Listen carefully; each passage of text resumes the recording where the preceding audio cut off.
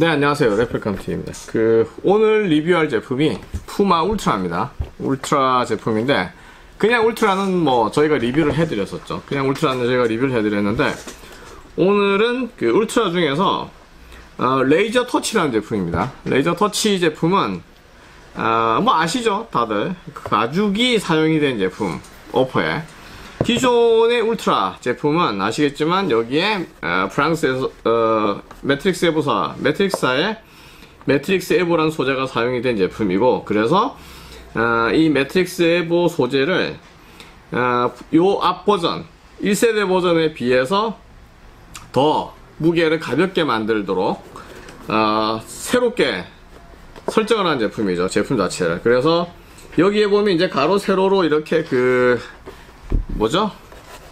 이 줄들이 있고 그래서 여기에 이제 카본, 아, 케블라 소재 이런 것들이 사용이 됐다. 이제 그렇게 알려져 있고 아, 케블라나 카본 소재 그러니까 이 뭐 Matryx Evo 소재에 대한 거는 저희가 울트라 어, 작년 리뷰를 할 때 이미 충분히 설명을 드렸어요. 왜냐하면 그 축구화에 채용이 된 것 뿐이지 그 이전에 많은 아웃도어 제품 이런 데 이미 사, 기존에 사용되고 있던 제품이어서 소재 자체가 축구화에 채용이 되어 있기 때문에 좀 낯설게 느껴지고 새롭게 느껴질지 몰라도 실제로 Matryx Evo 소재 자체는 어, 강한 이제 내구성을 갖는 제품 그런 그런 이미지가 있었죠. 주로 이제 아웃도어 쪽에서 사용이 됐고 아웃도어에 사용된 가장 큰 이유가 케블라랑 그다음 탄소 섬유 케,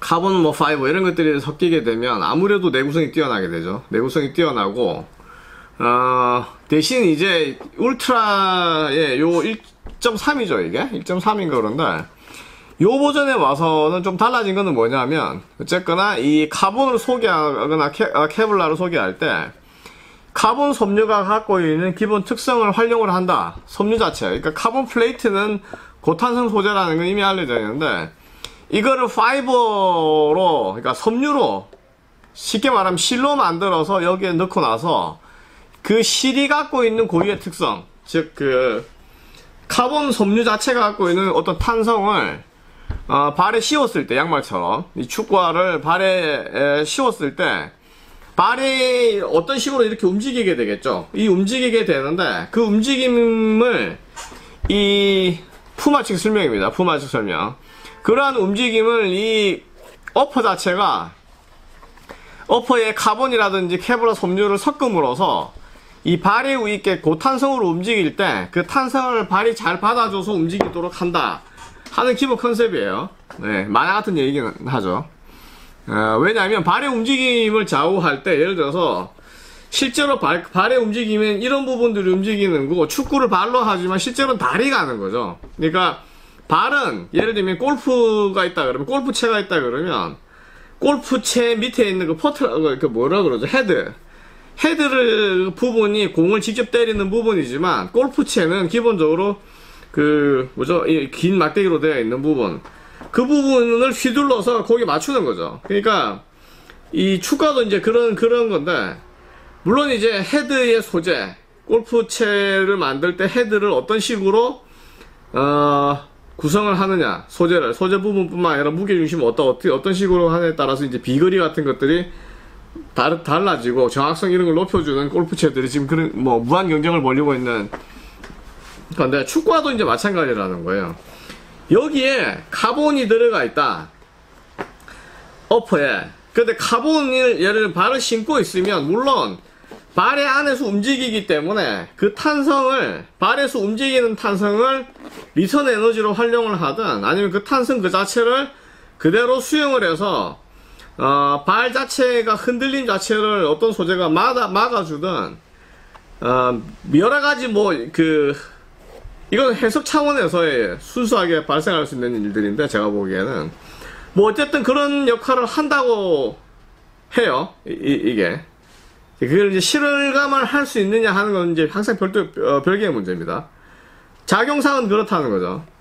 근데 늘 말씀드리지만 신발을 신고 있으면 발이 움직이는 부분은 이 부분이에요. 이 부분. 이 부분 자체가 이렇게 움직이는 건 이거는 발의 움직임이지 신발 자체 움직임은 발 자체 움직임은 아니라는 거예요. 대부분이. 그러니까 여기 어퍼에 어떤 소재를 갖다 놓다, 놓는다고 하더라도 발을 잘 감싸주고 발의 움직임을 잘 수용할 수 있는 정도에서 이 소재를 이행한다. 그거는 충분히 오케이. 우리가 이해할 만한 부분이에요.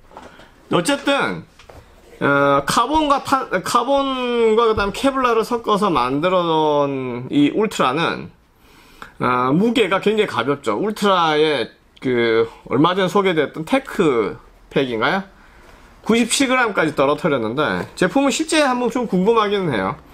이 제품만 하더라도 무게가 한 165g 뭐 그 정도 된다. 굉장히 가볍죠. 그러니까 제품이 Ultra라고 하는 거는 뭐 흔히 말하는 얘기로 보면 이제 speed silo 해당이 된다. 그렇게 얘기하죠. 경량화 추구 모델이니까.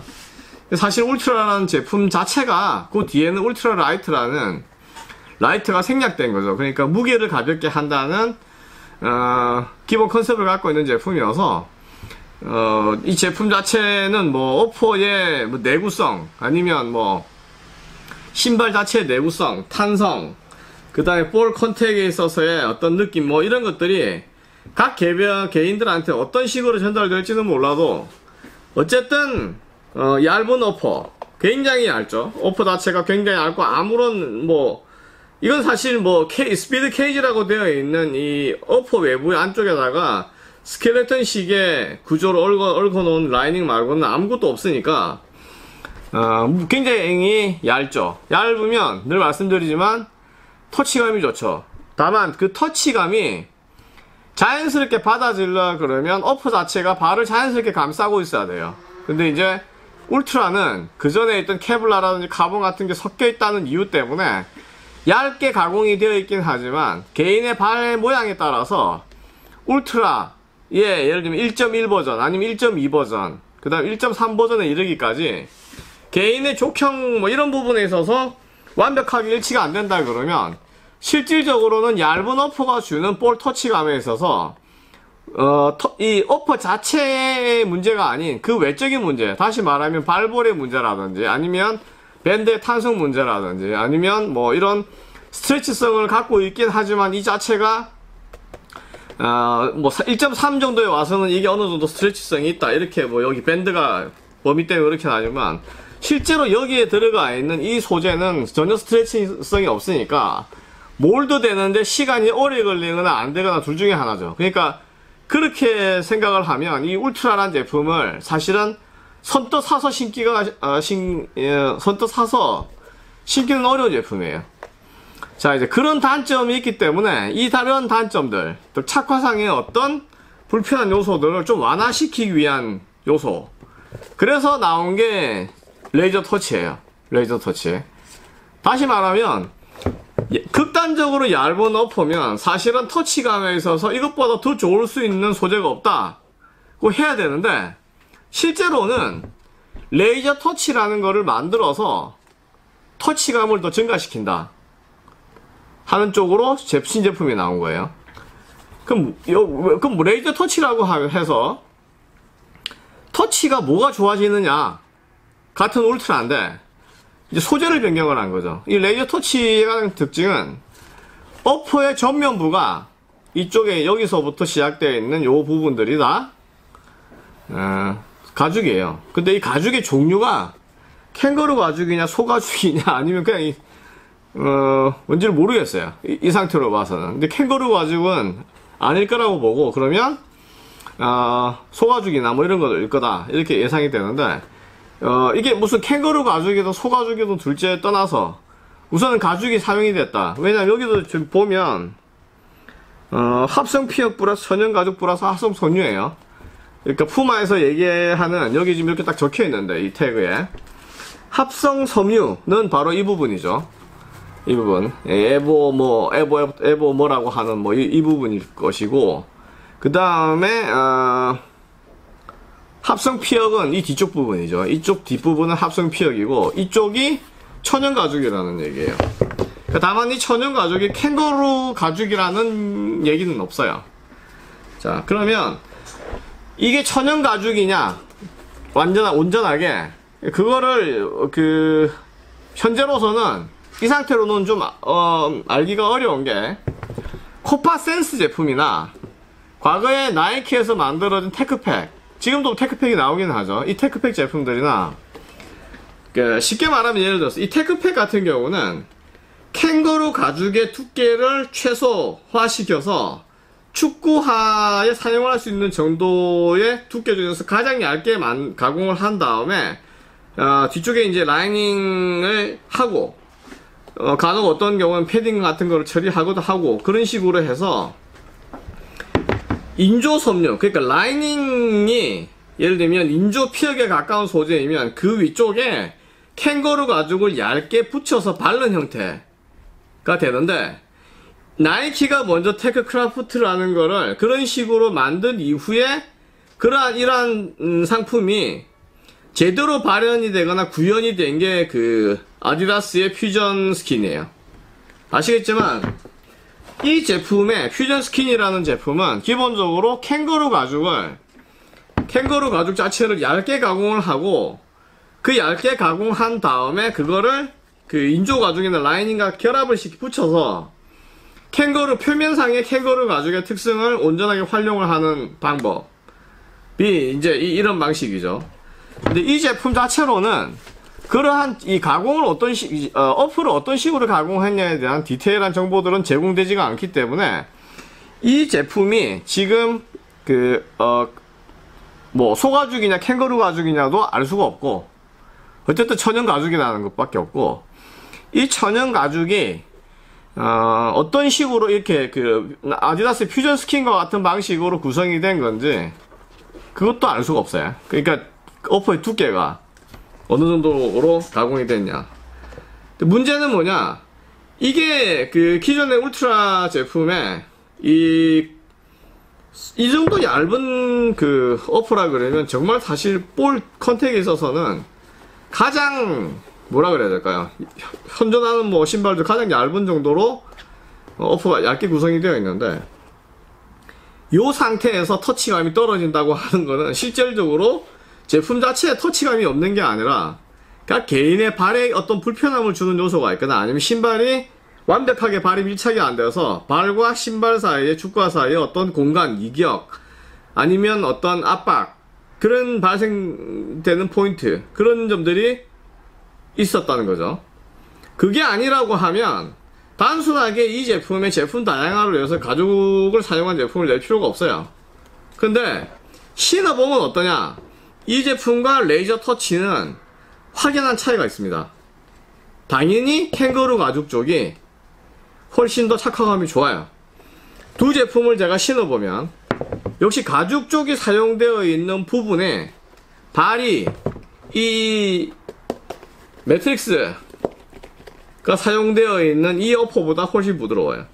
이 제품은 여기를 딱 신으면 어쨌든 간에 발 이 중족부 있는 쪽이 굉장히 타이트함을 느끼는데 그래서 최초 착용 시그 정도 타이트함을 느끼면 이게 실제 사용에 들어가서 실제 사용에 들어가서 발이 강한 압박을 받게 되면 실제로 이렇게 있는 것보다 발에 힘이 강해지면 발에 이게 더 넓어, 넓어지죠. 넓어지는데 신발은 대신에 안쪽을 타이트하게 조아주면 어, 그 불편함이 더해질 수밖에 없는데 그게 이제 시- 예, 축구화를 그냥 신어보는 것과 그다음 실제 하는 경우에 차이가 발생하는 요인이 되기도 하는데 그런 점들 때문에 다소 불편하다 이거죠. 다소 불편한데 이쪽으로 오면 그 부분이 훨씬 편해져요. 이 중족부 헤드 쪽이.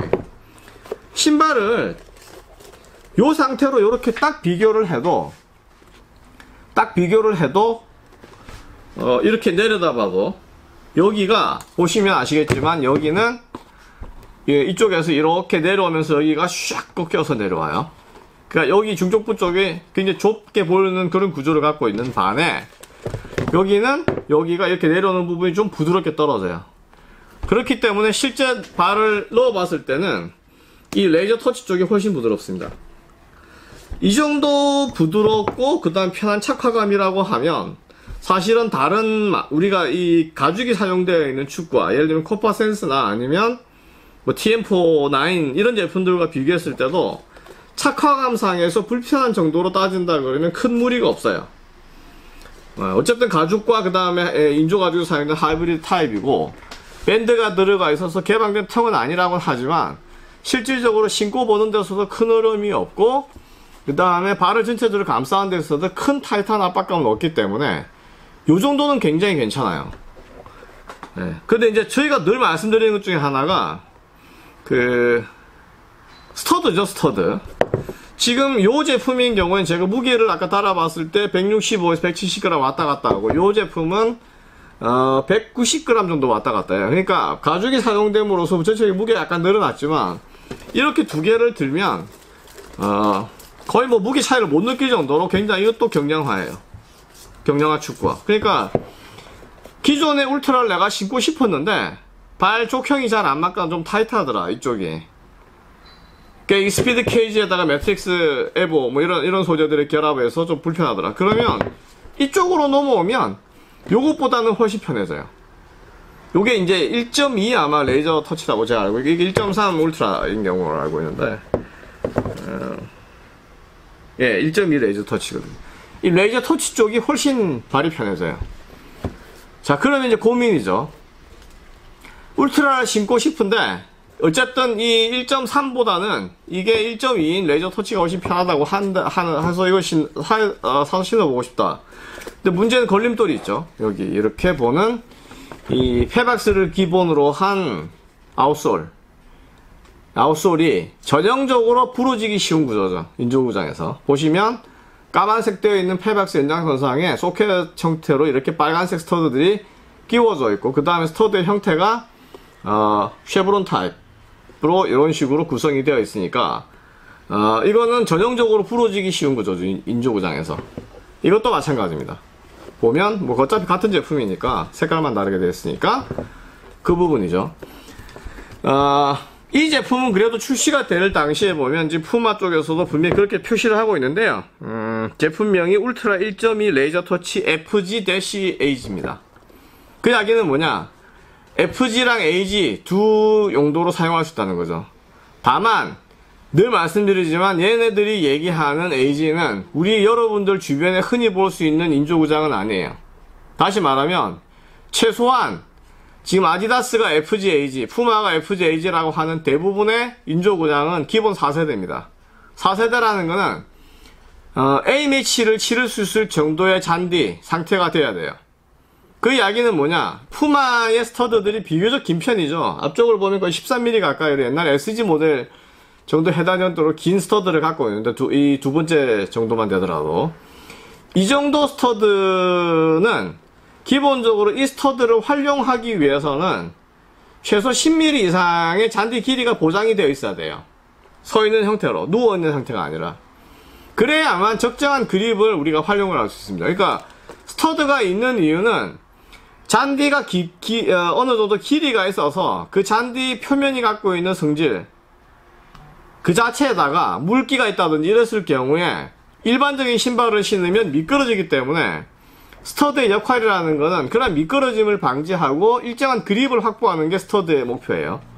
그렇기 때문에 잔디 구장의 상태가 좋고 부드러울수록 stud 더 높은 길이가 요구되죠. 그래서 이제 좋은 구장일수록 대부분 선수들이 SG를 신는 이유가 그거고 구장의 상태가 잔디의 형태 이런 것들이 어, 말 그대로 아주 극도로 부드럽거나 이렇지 않다. 그러면 이제 이 FG 쪽으로 가는 건데 여기서 말하는 FGAG에서 이 AG가 천연 잔디 길이에 준하는 정도의 10mm 이상의 잔디 길이가 있는 그런 인조구장이다고 하면 이 제품을 신는 게 가능하지만 그렇지 않으면 이제 stud 부러질 가능성이 높아지죠.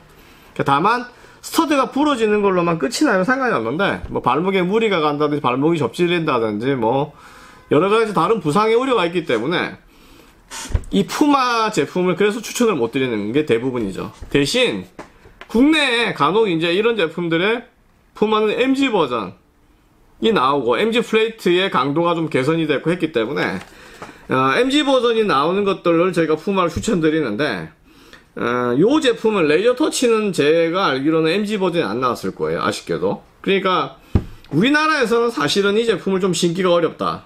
잔디 상태가 좋지 않으면. 대신에 울트라를 신고 싶은데 경량화 이게 160g 정도 170g 165에서 170g 정도 되었고 이게 190g 정도로 봤는데 요 제품 무게 20g 차이지만 예를 들면 내가 현역 선수인데 천연잔디에서 축구하는 사람이다 근데 푸마를 신고 싶다 그러면 레이저 터치는 훌륭한 대안이 될 수 있을 정도입니다. 이 제품의 그 기본 착화감은 이 분명히 밴드가 돼 있고 그 다음 이렇게 나지만 upper 자체가 가죽으로 바뀌었다는 이유 한 가지 때문에 실질적으로 팬텀 GT나 그 다음 머큐리얼 베이퍼나 이런 것과 견주 아니면 어, 미즈노에 나오는 뭐죠 베타 네오3 베타 버전과도 착용했을 때 특별히 더 불편하거나 더 단점인 요소로 보이는 부분들은 없어요. 그렇기 때문에 그 현역 선수로서 이제 푸마 제품을 신는다고 하면 이 제품이 무게 20g이 더 가볍긴 하지만 실질적인 착화성에서는 이게 더 좋을 수도 있다. 이 레이저 터치 버전이.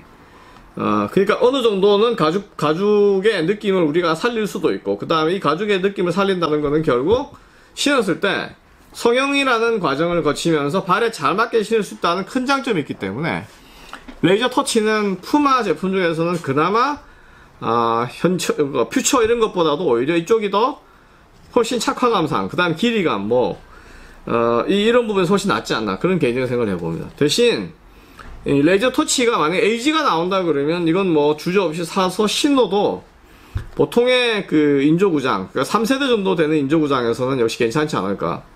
그런 생각이 들고, 그 다음에 우리는 이제 2세, 2세대 이하인 경우, 완전히 이제 모래가 있거나 아니면 거의 사실상 잔디의 길이가 기대할 수 없는 구장에서는 MG를 사용하는 것도 좀 무리예요. 왜냐하면 그 정도 상태가 되게 되면 되게 그 MG stud와의 그립을 기대하기가 힘들어집니다.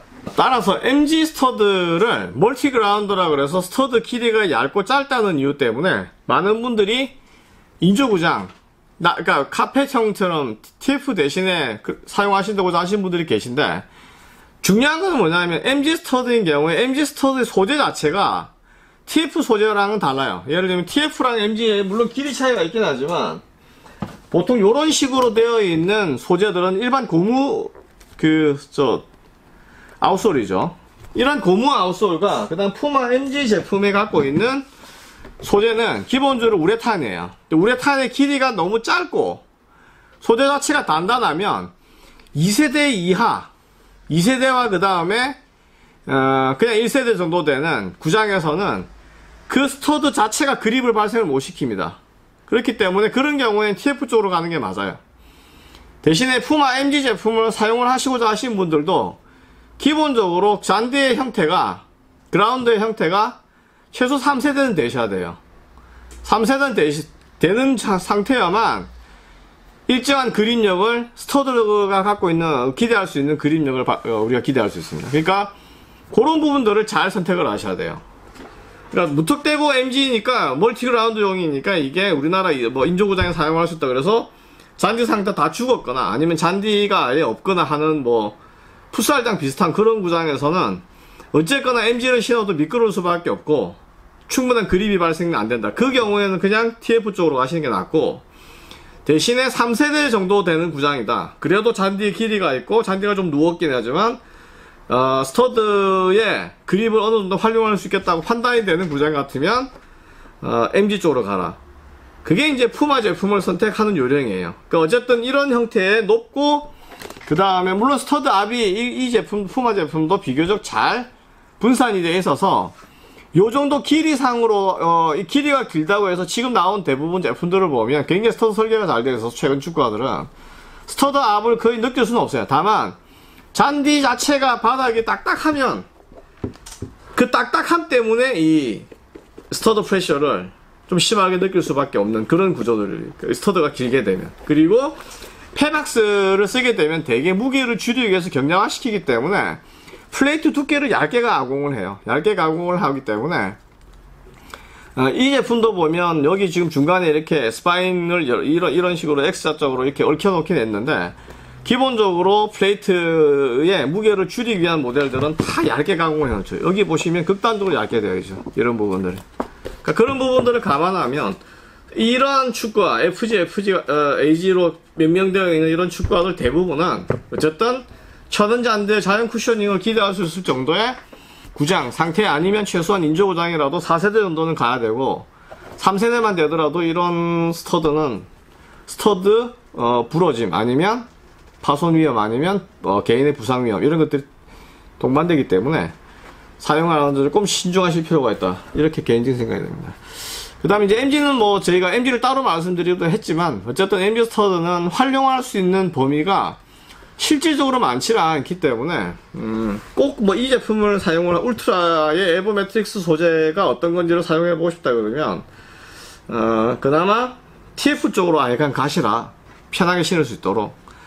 MG는 굉장히 제한적인 실질적으로 그게 multi ground지만 우리나라 환경에서는 굉장히 제한적인 스터드 사용 그 할 수 있는 용도가 실제로는 적죠. 왜냐하면 스터드가 짧고 그 다음 짧기 때문에 맨 땅에서 사용을 하게 되면 스터드가 빨리 닳을 것이고 그 다음에 잔디 상태가 좋은 곳에서는 저 길이가 스터드 길이가 짧기 때문에 짧고 스터드 수가 많기 때문에 오히려 그립에서 불리해지고 그런 부분들이죠 그러니까 그게 multi ground라는 이름을 갖고 있긴 하지만 실제로 우리나라에서는 활용도 낮을 수밖에 없는 스터드여서 푸마는 이 FGAG 모델도 그렇고 지금 MG 모델도 굉장히 아, 사용의 제한성이 있다. 그거를 좀 염두를 해 두셔야 되고 그렇다고 하면 어, 이 울저 1점 뭐 1.1점에 해당되는 엘리트급 모델에서 나오는 만약에 TF가 있다. 그러면 오히려 그쪽을 가보시는 게 더 낫지 않을까. 보통 우리나라의 인조부장 에스프레를 하시는 경우 그렇게 봐야 될 것 같고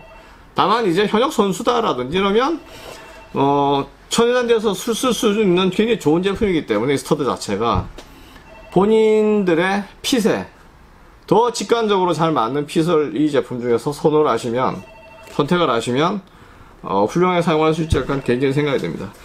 어쨌든 푸마가 지금 이런 제품이 나올 때 SG가 따로 나오질 않고 그냥 FGAG로만 계속 나오면서 스터드 길이가 길고 어, 한데 무게가 뭐 가벼운 것도 좋고 그렇긴 하지만 뭐 대안으로 MG가 나오고 있긴 하지만 제대로 된 AG를 좀 만들어준 게 좋지 않을까 그러면 아무래도 인조구장이 많은 곳에서 나이키나 아디다스는 뭐 아디다스는 좀 안 넘어가겠죠 나이키는 여전히 어, 전통적인 방식의 그 AG 스터드가 지금 그 계속 나오고 있으니까 그런 걸 조금 감안을 해서 나오고 그 아니면 어, 일본판 AG를 낼 때는 음, 조금 더 같은 Pebax 소재를 사용하고 이런 레이저 터치와 같이 이 가죽을 사용한 부분에서 일본식 스터드가 채용이 돼서 하는 제품을 우리나라에서도 좀 출시를 해주면 아, 그래도 조금 사용 편의성이 증가되지 않을까. 그 다음에 푸마 축구화에 대한 이용도 늘고 많은 사람들이 애용하는 사람들이 좀 늘 수 있지 않을까. 왜냐하면 이, 이 가벼운 무게라는 것도